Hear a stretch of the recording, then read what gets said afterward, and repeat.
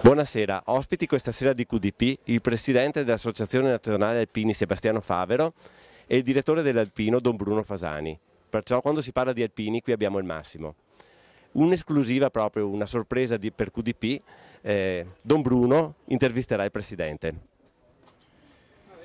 Ma io vorrei chiedere al Presidente una cosa, siccome quando parliamo di alpini tendiamo sempre a enfatizzare quasi che fosse un corpo perfetto, tu Presidente dove vedresti ancora i margini di migliorabilità nel nostro corpo di alpini? Beh, al di là del corpo, proprio anche dell'associazione, credo che i margini di migliorabilità sono ancora della nostra necessità o della nostra capacità di poter ancora capire e inserirsi ancora meglio nel tessuto in cui viviamo. Questo già lo facciamo, però io credo che questo è uno sforzo che dobbiamo fare ancora di più. L'altro aspetto importante per noi è saper guardare con forza e con decisione al nostro futuro. Per guardare al futuro vuol dire anche guardarci intorno e guardare con più attenzione anche gli amici degli alpini.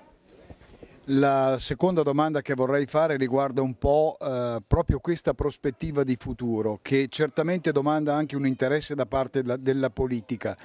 Si nota da parte della politica un qualche segnale di risveglio di attenzione verso il mondo degli alpini e comunque verso il futuro associativo anche attraverso dire, eh, un ritorno alla leva obbligatoria o quantomeno un servizio civile obbligatorio? Sì, ecco, su questo devo dire che forse la testardaggine, la cocciutaggine degli alpini, e devo dirlo anche prima di me, prima della mia presidenza, nel continuare a insistere sul fatto che per i giovani sia necessario un momento, un periodo di impegno, di dedizione agli altri, che non necessariamente deve essere un ritorno alla leva così come era prima, ma che necessariamente invece deve essere un impegno vero, preciso e io direi veramente obbligatorio. Tutti devono fare questa esperienza, perché questa esperienza è qualcosa che arricchisce non solo se stessi, ma arricchisce una nazione e un popolo se vuole essere tale. Presidente, un'ultima domanda. Eh, stai per concludere il tuo primo mandato triennale, eh, evidentemente propedeutico a quelli che verranno dopo. Ma se tu dovessi dire i fiori all'occhiello di questo tuo primo mandato o comunque le cose che ti hanno gratificato in questo tuo primo mandato, dove andresti a identificarle?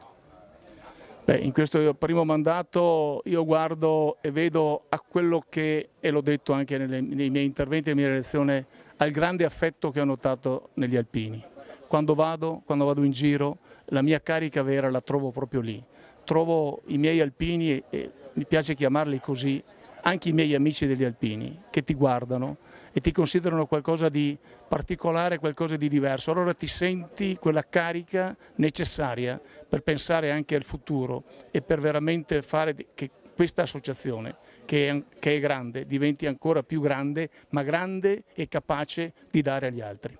Da domanda mi provoca domanda, continui a parlare Presidente degli amici degli alpini, evidentemente c'è un investimento perché scopri che con la loro chiamiamola manovalanza, tra virgolette, è possibile fare grandi cose ancora?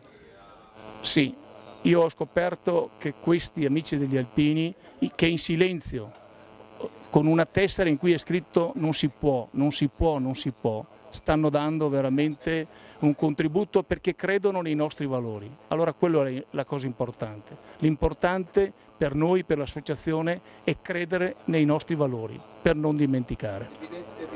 Evidentemente stai dicendo che l'Associazione Nazionale Alpini sta creando in qualche maniera una coscienza collettiva, una coscienza di popolo, perché questo è importante, non soltanto tra gli alpini ma che si allarga sempre di più alla popolazione. Battuta finale, cosa, eh, quali progetti grandi ci sono davanti nell'ordine del fare? Nell'ordine del fare, al di là ovviamente di perfezionare tutto quello che riguarda non solo la protezione civile intesa in senso stretto, ma tutto quello che riguarda il volontariato e soprattutto nel guardare proprio ai giovani, con due grandi eh, eh movimenti, con due grandi eh, iniziative. Una è nel prendere, nel cogliere quello che la riorganizzazione e la nuova legge sul terzo settore ci potrebbe permettere di fare proprio in vista di una leva di giovani a servizio della patria. E l'altro quella che ci riguarda all'interno, creare all'interno della nostra associazione un ruolo, un ruolo più definito, più preciso, oserei dire anche un po' più dignitoso dei nostri amici degli alpini. Un'ultima domanda ve la faccio io. Cento anni fa la Grande Guerra, cosa ci deve insegnare questo anniversario? Ma la Grande Guerra mi ricorda che è scoppiata perché c'erano degli interessi di parte dei grandi nazionalismi, eh, la Germania che voleva essere il primo Stato all'interno dell'Europa, l'Inghilterra che voleva essere la padrona dei mari, la Russia che puntava alla, alle, alle, popolazioni che erano del, dell'est dell'Europa, comunque de, de, della regione balcanica, il dominio ancora dei grandi, dei, grandi dire, dei, dei passaggi sui Dardanelli Dardanelli, nel Bosforo per le navi e quindi ancora per la Russia, insomma era una serie di interessi, di ingordigie nazionalistiche. Allora al di là proprio delle vicende belliche eh, starei per dire che l'insegnamento della grande guerra è che quando qualcuno degli stati vuole diventare più Stato degli altri, più importante degli altri, più bravo degli altri, più padrone degli altri, quello è il momento in cui si rompono gli equilibri. E allora nel momento in cui si rompono gli equilibri nascono le diffidenze e dalle diffidenze poi nascono le contrapposizioni e qualche volta le guerre. Presidente. Ecco, per me, ecco, vista qui da questo territorio, tra l'altro io sono figlio di questa terra, della terra in cui si è vissuta anche questa grande guerra, si è vissuta questa grande drammatica, tragica esperienza, quello che è l'insegnamento a cento anni che dobbiamo imparare e che da un lato questa guerra con tutte le sue drammaticità, con tutta la sua non giustizia, comunque una cosa di positiva l'ha data anche a noi. Ha dato la capacità di capire per la prima volta che l'Italia poteva essere un popolo.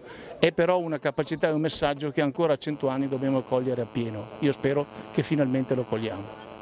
Grazie a tutti eh, siete stati gentilissimi, abbiamo avuto la fortuna di avere qui il direttore dell'Alpino e il presidente dell'Associazione Nazionale degli Alpini.